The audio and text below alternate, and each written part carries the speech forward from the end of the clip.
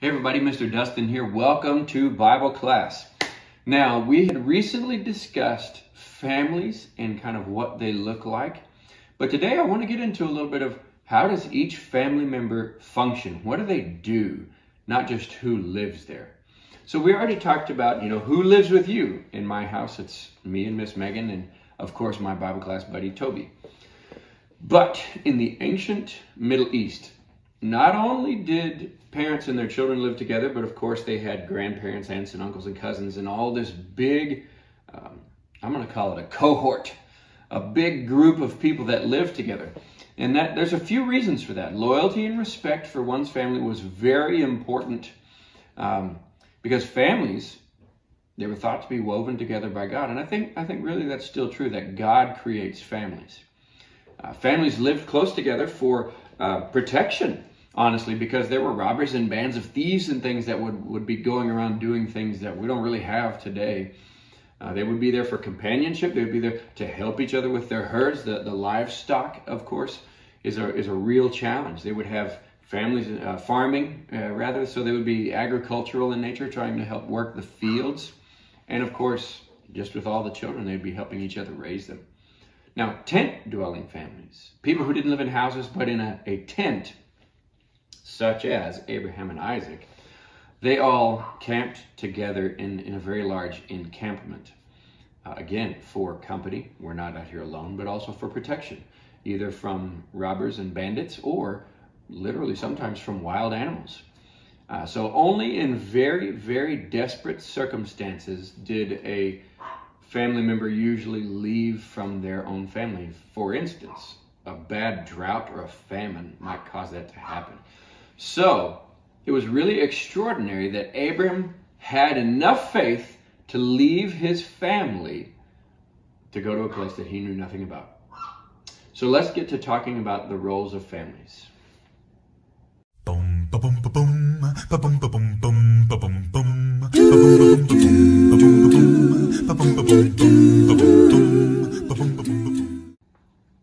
So, my Bible class buddy Toby is here with me now. You might have heard him barking in a minute ago.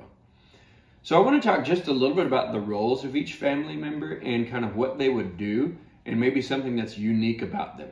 So the first one, of course, that we'll talk about is the role of the father. Now, if I can get it, the father would have usually worn, you've, you've seen me wear this the last time, the, the keffiyeh, right? He would have this over his head most of the people in the household would wear something like this, but definitely the father, he would wear something like this.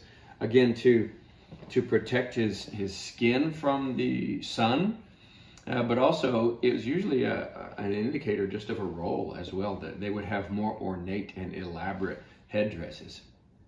So not only was a father the head of a household or a family, but also a father might be a leader of a city or a tribe. But within the family, he had the, the authority of making these big decisions about protecting his family and maybe where they would go and overseeing the work of his family. But he also would be a teacher, teaching skills, maybe. If he was a, a, a carpenter, for instance, Joseph, the father of Jesus, was a carpenter and he would teach his son how to be a carpenter as well. Uh, but they would also do religious teaching. So they would teach them about God's word. So also, there were mothers. Now, the women, Toby, I need my keffiyeh sheet. The women would wear a veil. They would actually cover almost half of their face. And it would be, you know, kind of a, a sign of modesty that, that they would wear these kinds of things. But in in most of the what we're going to call pagan cultures, those are those that don't believe in the God Almighty, El Shaddai, uh, those Canaanite cultures. The women there, they, they, were often treated as not much more than a servant. It was very common in those ancient times for women to, to haul and carry the wood or to just be cooks, um, only look after children and sew clothes for everybody, milk the goats, etc. While the men, the husbands and fathers would just relax with their friends. Uh, but, but it was customary for them to wear the veils for modesty and not really associate with any men outside of their family. However, I think it's important for us to know that that wasn't really God's plan. You know, whenever you look at Scripture, the Bible tells us that the wives, mothers, and sisters of God's chosen people, they were treated much more respectfully. While fathers were in charge of the the family's work, and mothers were basically in charge of the homes. So women, they would they would oftentimes be be helping with uh, the washing of clothes around the house. They would have um, a soap actually made from wood ashes. They would use a stick actually to beat clothes. If you've ever had a, an old rug or something you needed to get the dirt out of, you actually would take a stick and whack on the rug and you could see the dust fly out of it. So that would be one way that they would get uh, dirt and things like that out of clothes.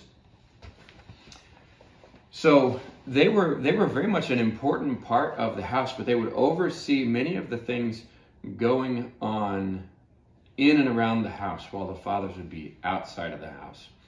Uh, many times the, the women actually oversaw the servants that tended their flocks of sheep and goats. Uh, they were responsible for drawing water from the wells each day. We'll talk about that in a minute.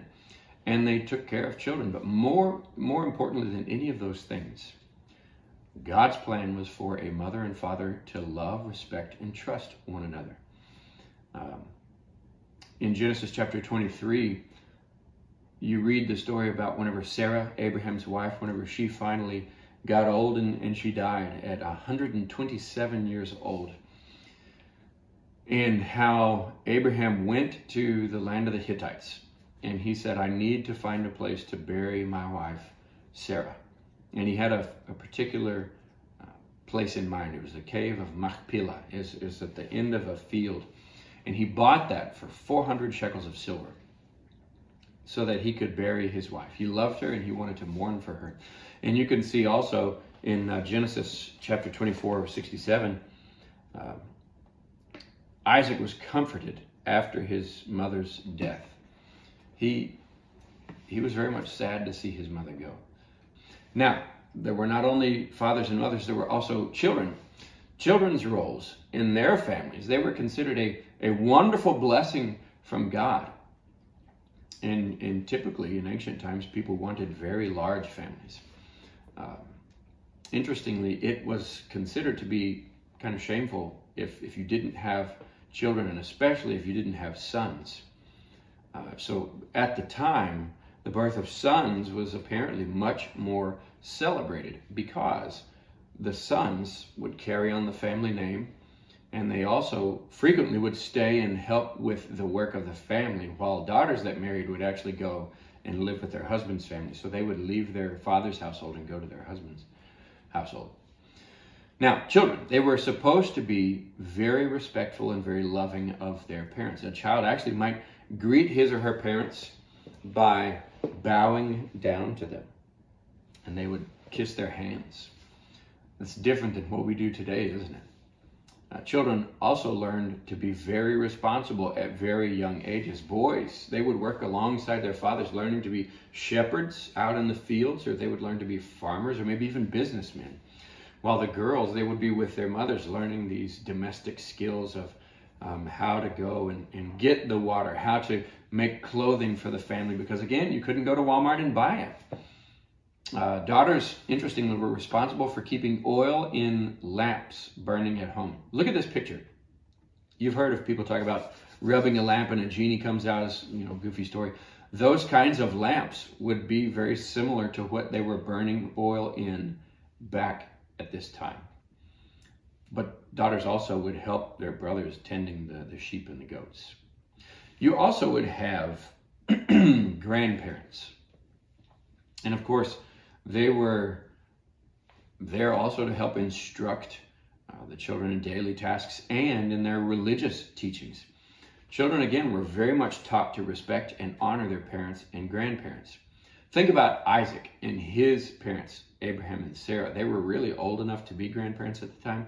But another interesting point Abraham, it says he died when he was 175 years old. Isaac was born whenever he was 100. And when Isaac was 60, they had Jacob and Esau. So Abraham would have been a grandfather for about 15 years before he died, which I think is kind of interesting to think about. So, that's kind of the roles of the family members. But I want to talk just a little bit about a custom, one that's a little different to us, particularly in the United States. In the Middle East, parents would choose a wife or they would choose a husband if they had a daughter for their children.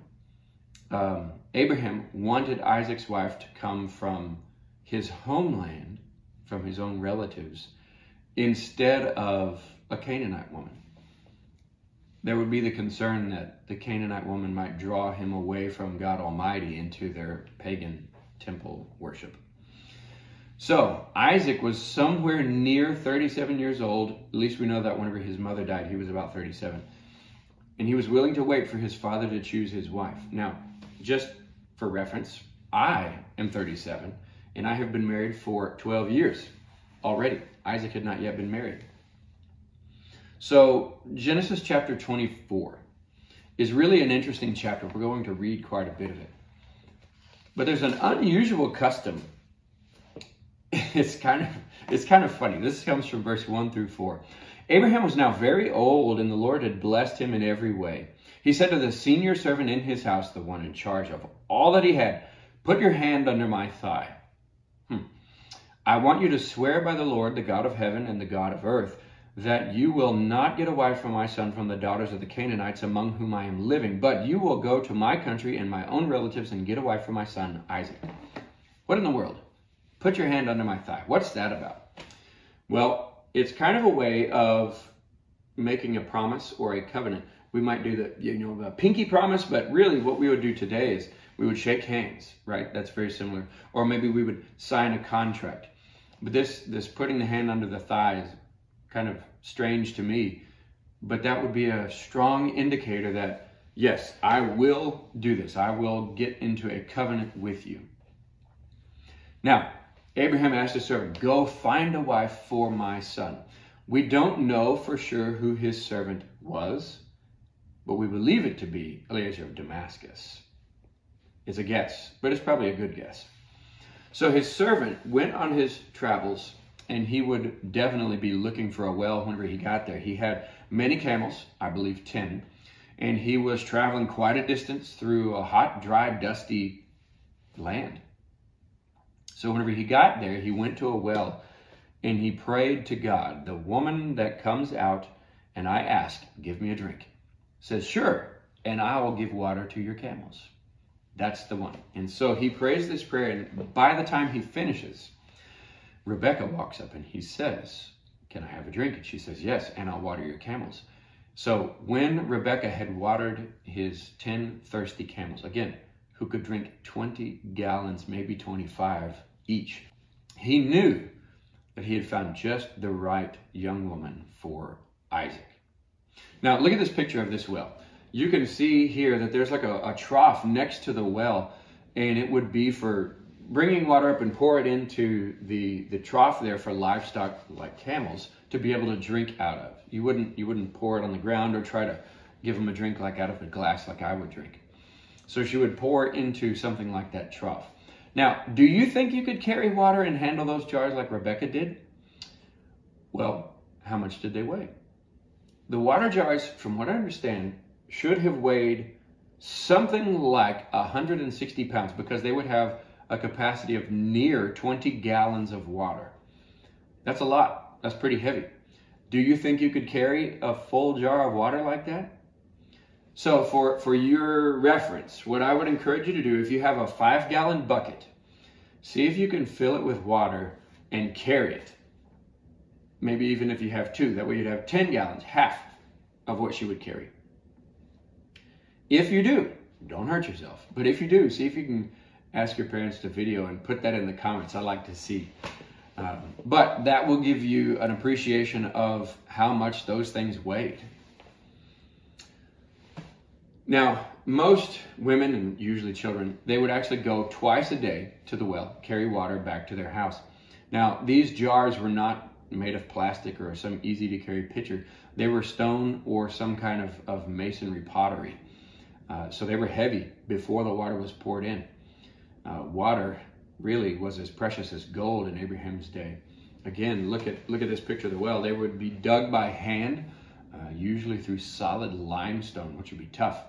Sometimes they had steps carved into them so that you could get down to where the water was. Other wells, they would use ropes or maybe buckets, water skins, or jars to, to draw out the water that would dip down and they would bring it up. Even some of them would have what's called a water wheel where it would spin and there would be a, a jar of water that would scoop on the way down and on the way up it would dump out into whatever you were using. All kinds of different things, but they would oftentimes have a little low wall around it to prevent animals from falling into the well. So those who owned wells were usually very important and wealthy people. And many times they would sell the water that was in the well or they would trade for their water. So Abraham's servant had to have been overjoyed whenever he learned that this beautiful young lady who drew water for all of his camels was actually Abraham's grand niece, or that's the granddaughter of his brother Nahor. Rebecca's parents and brother must have loved her very much. How do we know? Well, I think it'll be significant for us to spend some time reading this. So this comes from Genesis chapter 24, and we'll pick up in verse 22. When the camels had finished drinking, the man took out a gold nose ring weighing a beka and two gold bracelets weighing ten shekels. Then he asked, Whose daughter are you? She said, I am the daughter of Bethuel, the son that Milcah bore to Nahor. That's very important. Family members, exactly what they were looking for.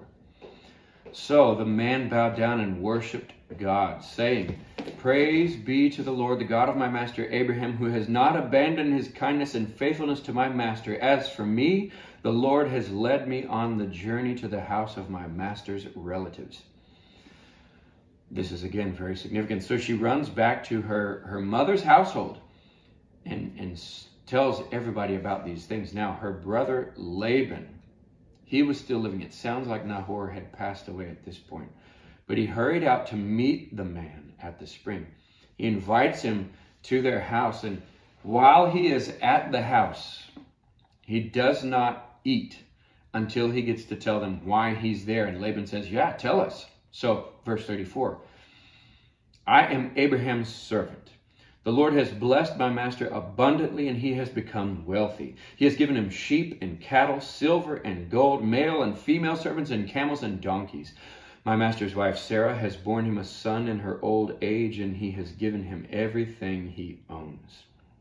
And my master made me swear an oath and said, You must not get a wife for my son from the daughters of the Canaanites in whose land I live, but go to my father's family and to my own clan and get a wife for my son. Then I asked my master, What if the woman will not come back with me? He replied, The Lord, before whom I have walked faithfully, will send his angel with you and make your journey a success, so that you can get a wife for my son from my own clan and from my father's family. You will be released from my oath if, when you go to my clan and they refuse to give her to you, then you will be released from my oath. When I came to the spring today, he explains, what he did. I came to the spring and I prayed, if this young woman will give water to me and my camels, let that be her. And Rebecca came and she did. Before I had finished praying, she was there. So I asked, Whose daughter are you? The daughter of Bethuel, son of Nahor, from whom Milcah bore to him. Then he explains what he did. And he asks, Now, if you will show kindness and faithfulness to my master, tell me, and if not, tell me, so I may know which way to turn. So Laban and Bethuel answered, This is from the Lord. We can say nothing to you one way or the other. Here is Rebekah. Take her and go, and let her become the wife of your master's son, as the Lord has directed.